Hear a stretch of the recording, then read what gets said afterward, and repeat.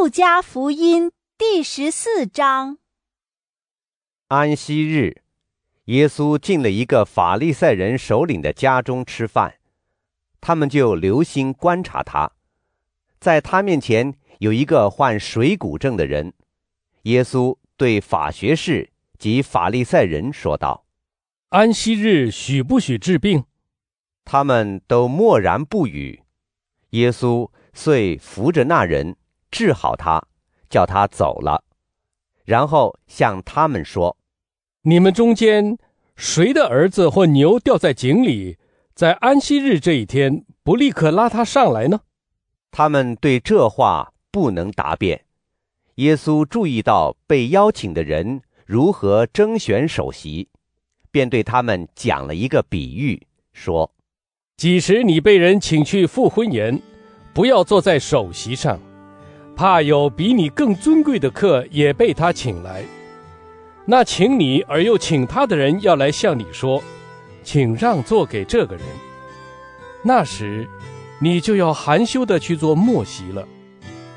你几时被请，应去做末席。等那请你的人走来给你说，朋友，请上座吧。那时，在你同席的众人面前，你才有光彩，因为凡高举自己的，必被贬义。凡贬义自己的，必被高举。耶稣也向请他的人说：“几时你设午宴或晚宴，不要请你的朋友、兄弟、亲戚及富有的邻人，怕他们也要回请而环抱你。但你几时设言，要请贫穷的、残废的、瘸腿的、瞎眼的人。如此，你有福了。”因为他们没有可报答你的，但在一人复活的时候，你必能得到赏报。有一个同席的人听了这些话，就向耶稣说：“将来能在天主的国里吃饭的，才是有福的。”耶稣给他说：“有一个人设了盛宴，邀请了许多人。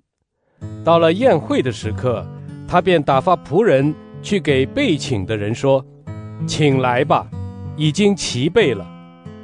众人开始一致推辞。第一个给他说：“我买了一块田地，必须前去看一看，请你原谅我。”另一个说：“我买了五对牛，要去试试他们，请你原谅我。”别的一个说：“我才娶了妻，所以不能去。”仆人回来把这事告诉了主人，家主就生了气。